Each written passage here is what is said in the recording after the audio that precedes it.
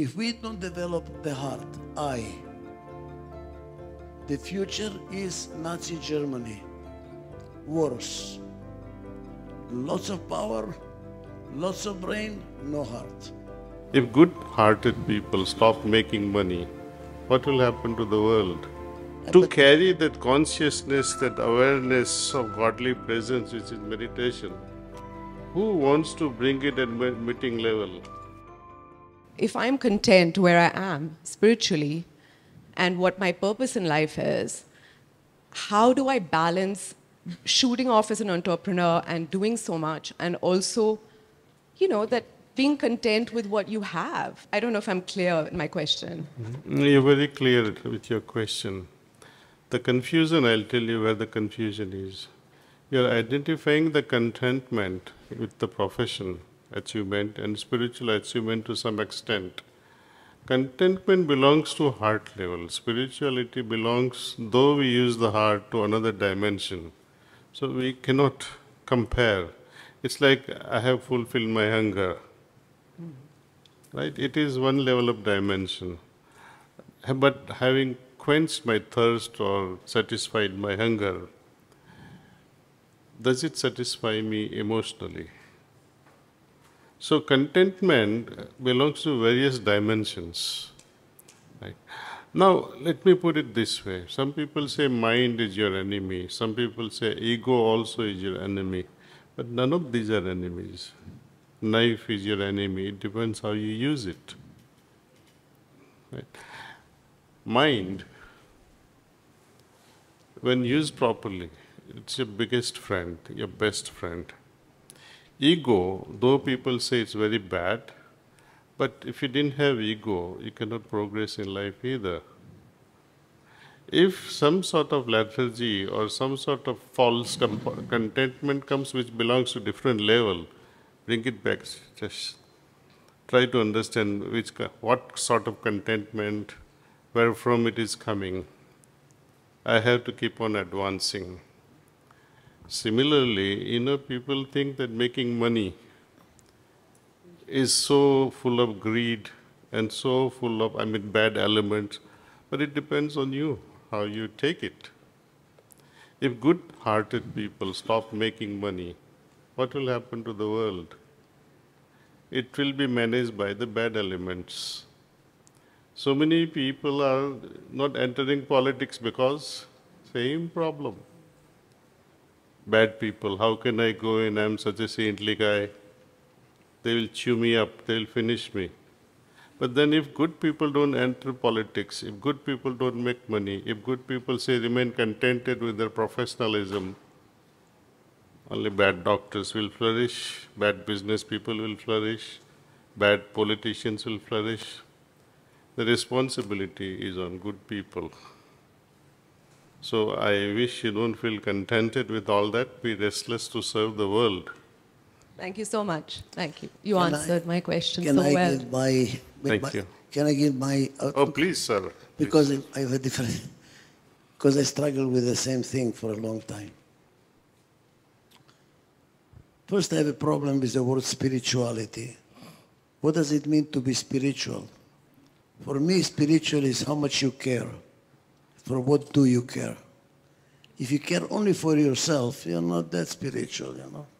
But if I care now for my clients and I care for the environment and I care for because the word spirit is God, God is spirit.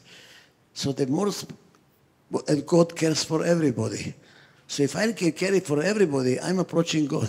I'm getting close enough. So for me, it's not the difference between life and spirituality. You find your spirituality in your what you do. I give an example which is for me, what kind of keeps me going. I saw a restaurant that had a big sign on the wall. We will not feed you food we don't feed our children. If you love me as much as you love your children, to me it was a spiritual restaurant. we have an executive and he tells me about the product he has and I ask him, honestly, if you were a customer, would you buy this product? He says, Absolutely not. He's not spiritual. He's taking care only for himself. But if you care for your customer, you're a little bit more spiritual. How far do you care? That is to me spiritual. Am I wrong? All right, because I want to define the word spiritual. Otherwise, some people believe spiritual is to go to church, pray for 20 minutes, and they go home and, and, and screw everybody. they are very spiritual, you know, they read the book. That is religion. Pranam Daaji, uh, Dr. Adizes. It is an extension of the question that uh, uh, Uh, doctor just asked. If we are accepting ourselves or what's happening in the organization, then how does one move towards change? And sometimes apparently logical mind tells you you don't accept things, then only you can change. But it leads to some inner resistance or conflict and the whole thing messes up. So how do we resolve this? You want to take it up? But you, you know, what is that? Go ahead. First, differentiate between self-acceptance and acceptance of the situation. They're two different things. Because if you don't accept yourself, all the energy which is limited is fighting yourself. You have no energy to fight the situation. The moment you accept yourself, I am who I am. Now I have all my energy to change the situation. Because you're, you're putting it together. Accepting myself means accepting the situation. Absolutely not. I accept who I am. I'm at peace with myself, that I'm not perfect. Now let's go and change the world.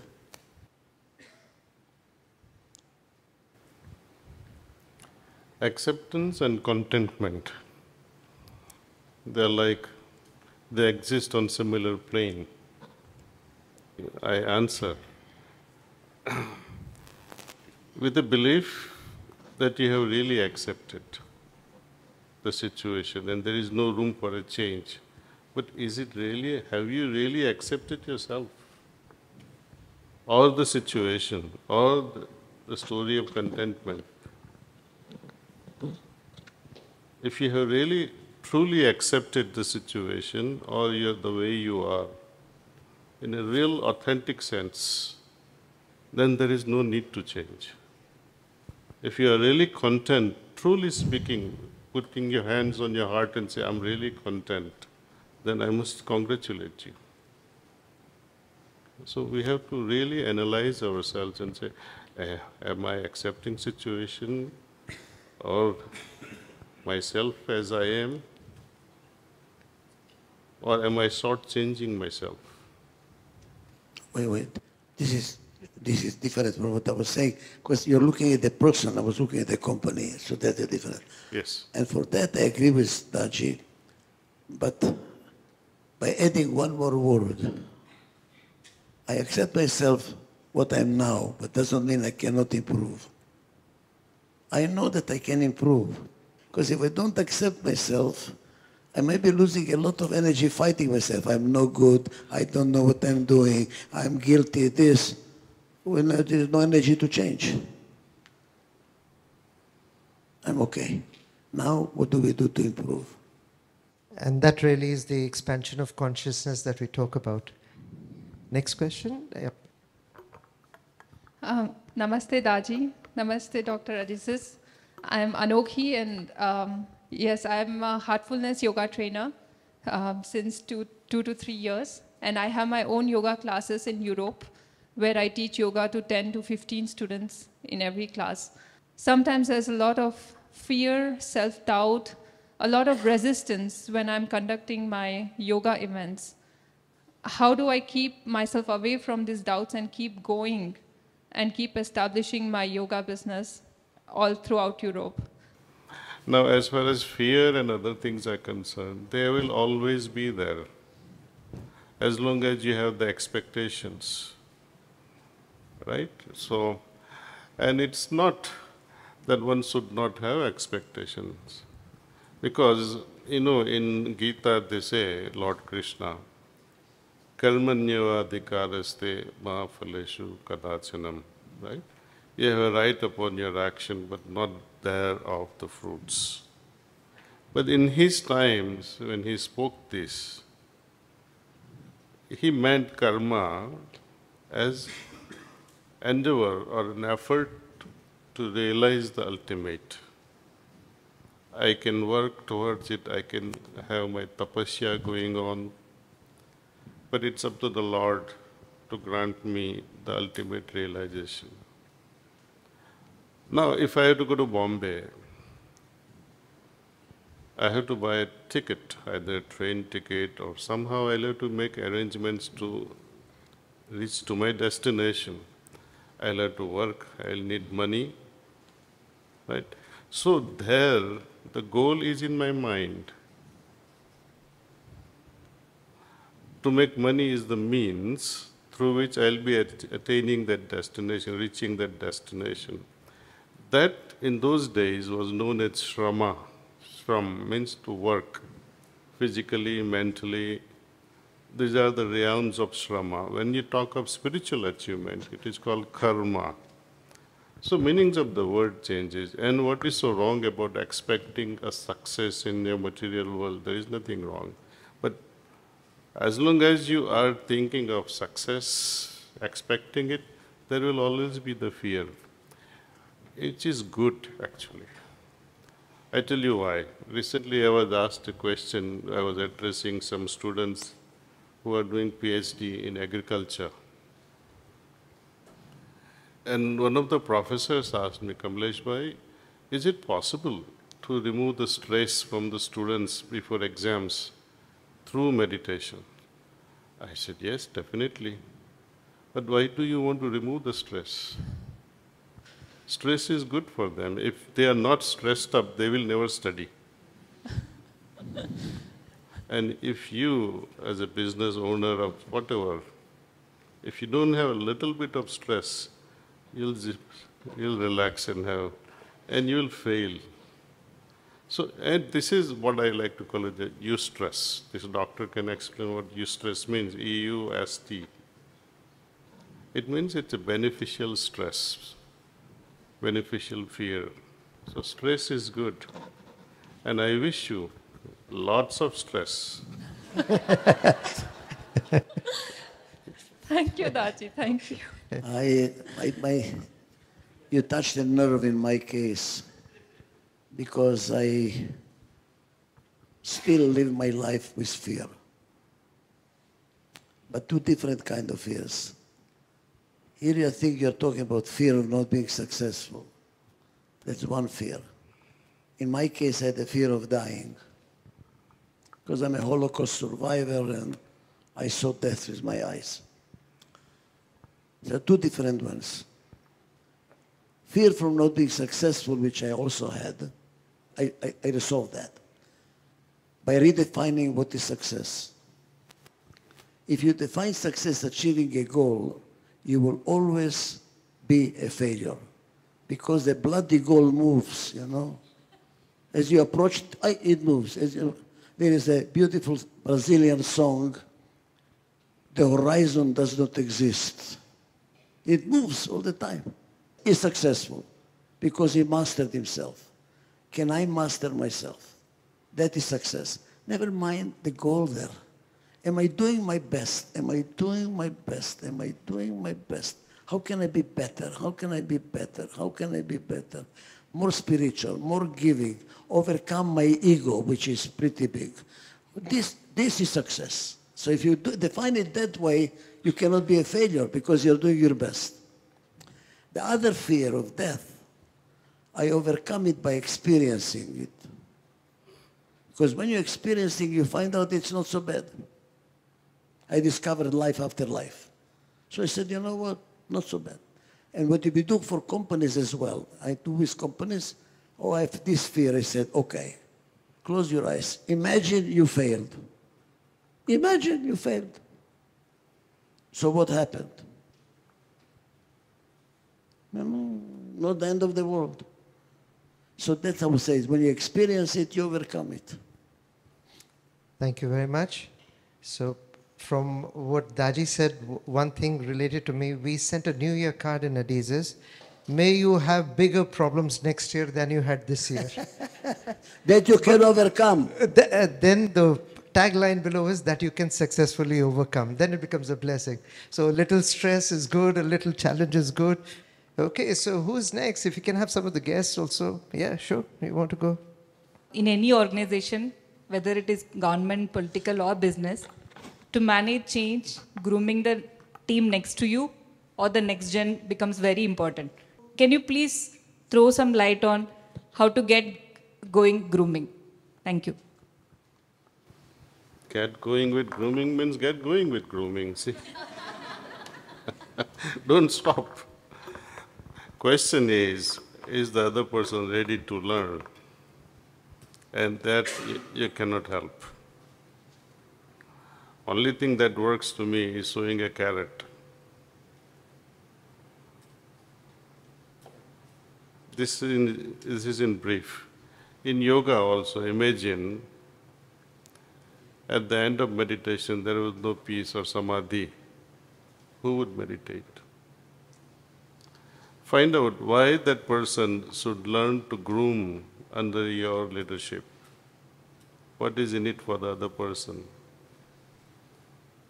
I think this is a solid management question, and I leave it to Dr. Adizes to share your ideas of how to groom the next gen, next generation of leaders within the company. How to groom? Groom means prepare them to take over your position. Oh. Usually people say they should take over when they're ready. And I say, in order to be ready, they have to take over. Because they have to experience it. You cannot be ready reading books. You have to do it. So what I will say is the following. Let them start doing but never make them do this way. Sales, sales, sales, sales, sales president. What do you know about production? Those never deliver on time. What do you know about money? They never have money. No. You prepare them this way. Let him start at the bottom. Really at the bottom. To work the machines, to sweat the machines like a worker, to understand what the workers go through. Then move him to be in sales. Oh my God, it's so difficult to sell. Then moving to finance. Oh my God, there's the finance. Go like this. By the time they come to the top, they experienced everything and they understand everything. Number one. Number two, I would not let my children, I did my mistake. I did my mistake. To bring your own children to take over right away. Because in my experience, maybe it's not your experience, your different culture, children want to shine. They want to show that they're capable. When they're under you, they're in your shadow. And then they start really feeling, I recommend to my clients, send your children to work somewhere else first. Let them shine there. Then when they feel, "Mm, I can do it, you know, now you bring them and make them go. Make them work, not observe, work. Prove yourself in every level. And if you're not capable of proving yourself, better be an owner, let somebody else manage. Who's next? Have you ever tried integrating meditation uh, or meditative practices because that uh, kind of shines the intuitive abilities and uh, inner wisdom into the training program? And uh, do you have any case study which you can share? I wish I could bring it to companies. Yes, I wish. As a matter of fact, I'm guilty. I'm not trying hard enough. Uh, in my opinion, before we start a meeting, we do calm down. I tell everybody, be on time, and maybe well, we go around the room and everybody has to say, how do you feel about the meeting we are going to have? Why? Because usually in the hectic world we live in, the body comes to the meeting, but the mind is somewhere else still. So I have to bring the mind where the body is And my way of doing it is ask, how do you feel about the meeting? Feel, how do I feel? Then I have to bring my mind to where body is. Maybe by doing meditation, I can do that. So maybe the India Office of Adizes can lead the way because we do do it, Yeah, and but I think it's working. It's easier for you. I'll tell you why. Tell you why. Because this is a cultural meditation is acceptable.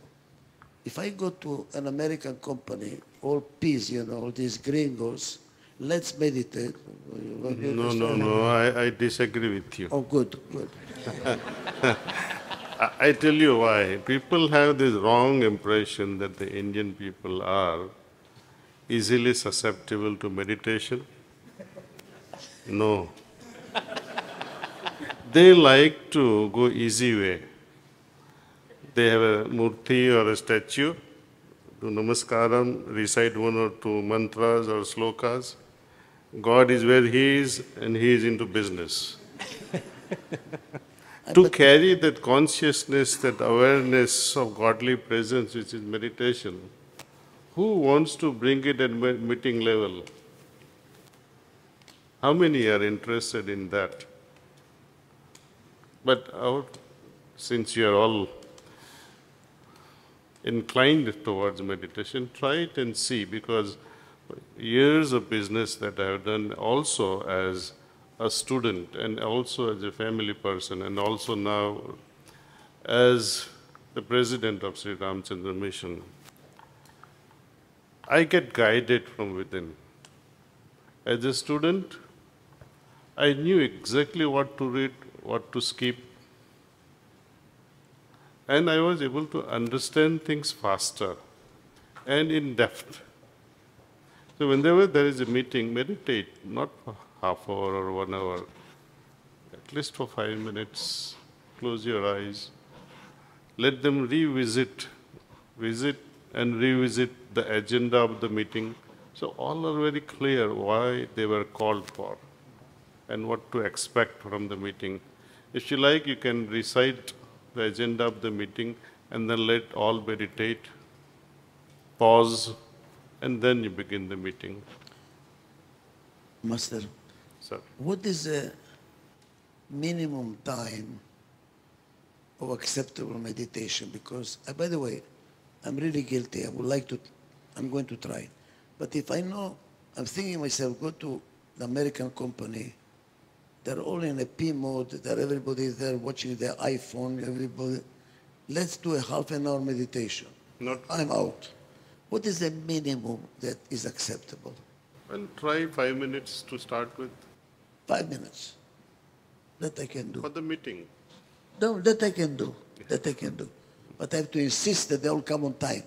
Because, uh, you know, we start, somebody arrives, somebody It's arrives. It's okay, they will miss out, and then you will understand that, look, those who are already present and those who underwent these five minutes of introspection, they were better off at responding and understanding the meeting.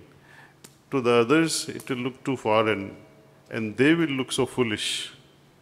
How do you, how do I develop self-discipline to do it every day?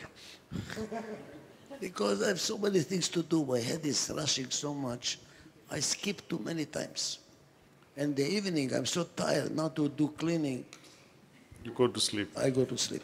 It's okay. How do you, how, really, I really would love to develop that self-discipline, which I don't have in anything. You can see I have no discipline in anything. What do you do? How do you develop self-discipline? You got to love it first. Loving. Love, you got to love it. Now it's a catch-22 situation, you see. To me, more than a practice, what is most important is the attitude one develops towards the practice. Even if you do it five minutes, it doesn't really matter. But that longing, that restlessness, that craving that one must have in the heart, that's what matters. Revisit your romantic days of teenage times. You dated your friend and you're waiting at the theater, and if you were a boy, you would reach there one hour before the girl would come there. Right? So much of restlessness to see your beloved. One hour before, you'll be there at the theater. And five minutes before that, the world will end. Keeps on phoning. Where are you? Where are you? Will she come? And then settles down, say. Restlessness. And when you have tremendous restlessness and you close your eyes, you'll be transported to the highest level of condition in less than two minutes. Then you won't have to meditate for one hour. So, to me, how you spend rest of your day, your 23 hours, that will decide your one hour of practice, the quality of practice, the attitude. So quality more than quantity. I want to say something that has impressed with you, Daaji. I've been watching you all the time. You are so, what, what works? All your recommendations are not dogmatic. Has to be half an hour because the book says half an hour. You said, start with five minutes. Mutual trust, respect, and love. Start with mutual trust and respect. You're very what works in the right direction. And I think if we can follow that, that's a great instruction. Because some people are A's, you know. They follow the manual although they're going against the wall. What works in the right direction? Because some of us, what works in the wrong direction. No, no, no. What works in the right direction. Flexibility. So I thank you. Thank you. Something to learn. So, yeah, sure. Rahul? So why is that we are seeing uh, so many Indians rising up the corporate leadership ladder in globally? Is it coincidental or can there be anything contextual also? I have a problem with understanding. He says why so many, well. how why so many Indians are I what? why so many Indians are leading in the corporate world all across the globe. For the same reason why so many women are leading now many corporations. And the common denominator is I.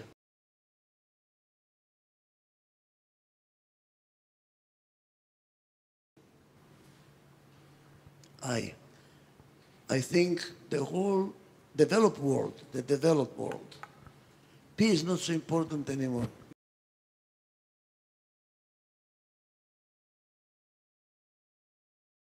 Because we have so much abundance. What is more important now, what's growing in importance, is I.